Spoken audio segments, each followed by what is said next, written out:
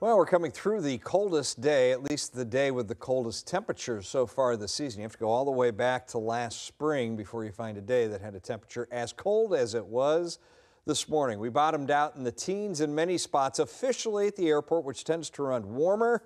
Uh, it was colder. Now, the coldest so far uh, before tonight was 20, or before last night was 23 degrees back on November 28th, but this morning's low dropped all the way to 21, making it the coldest morning since March here in St. Louis. So, uh, yeah, cold night, but it is not going to be that cold tonight. In fact, going forward, we have nothing anywhere near that cold across the Midwest. We do have some clouds, but they're high, thin cirrus clouds, just barely thick enough to notice in the skies over the St. Louis area. And as you wake up tomorrow morning, it looks like a dry morning, a cool to cold morning or sunrise time at 7.15 a.m. if you're getting ready, uh, getting up early to walk the dog before you head off to work. Bundle up, temperatures will be in the 30s, but look at this fast warm up.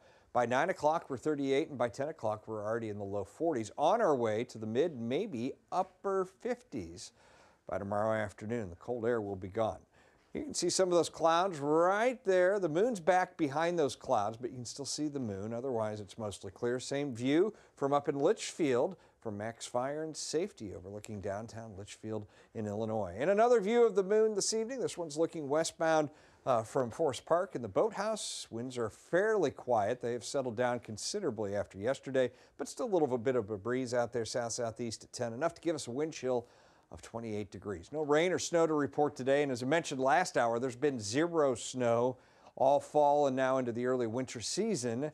Uh, and if it doesn't snow between now and the 23rd of December, which it's not, it will be the latest first trace of snow uh, in recorded history in St. Louis. 43 was your high, 44 is the normal high here in St. Louis. High clouds, but look, a lot of high clouds. There's just nothing coming out of any of these. You have to go all the way up to southern Canada to find a few snow flurries or way out into New Mexico to find a couple of sprinkles, and that's it. Here's the bigger story. This energy spinning on shore. This pocket of energy is going to drop south. There's another pocket that's already broken off into parts of Arizona and New Mexico. That actually becomes our rainmaker, the first of two and it comes in Thursday night and into Friday morning. Futurecast tonight showing the advance of cloud cover ahead of that system. Again, a lot more clouds tomorrow than we saw today, but no rain, and it will definitely be milder with southerly breezes pushing temperatures well into the 50s in Missouri.